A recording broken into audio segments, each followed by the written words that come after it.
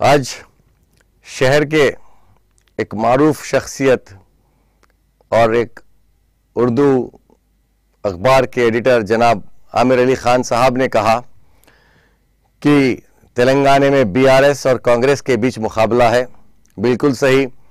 और ये भी कहा कि बीआरएस पार्टी हमेशा बीजेपी की ताइद में रही, बिल्कुल गलत। आपने ये भी कहा कि सीए एनआरसी में हमने उनकी मदद की, टोटली गलत। हमने अपोज किया।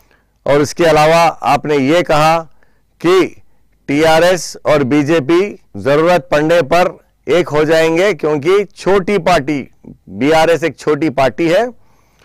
अगर आपको ऐसा लगता है कि एक इलाके की पार्टी यानी एक स्टेट की पार्टी अगर छोटी पार्टी है तो फिर आपके वालिद जब तेलुगु देशम पार्टी में थे, क्या वो हिंदुस्तान की पार्टी थी? आप जो वाईएसआर कांग्रेस में गए क्या वो एक नेशनल पार्टी थी? आप एक एडिटर है। आप काफ़ी कुछ जानते हैं। आज अवाम को गुमराह करने के लिए, मुसलमानों को वोट बैंक की तरह इस्तेमाल करने के लिए आप रेवंत रेड्डी के गोद में बैठकर यह बता रहे हैं कि बीजेपी और कांग्रेस ट्रेन के दो पटरी है।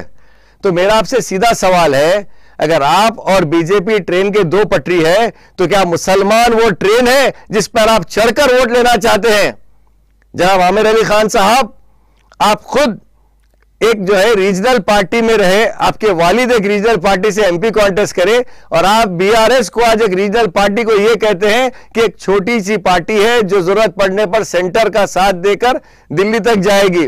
केसीआर हर हाल में बीजेपी के साथ कभी नहीं जाएँगे। किसी भी हालात में, किसी भी वक्त में, किसी भी मजबूरी में कभी बीआरएस बीजेपी के साथ नहीं मिलेगी।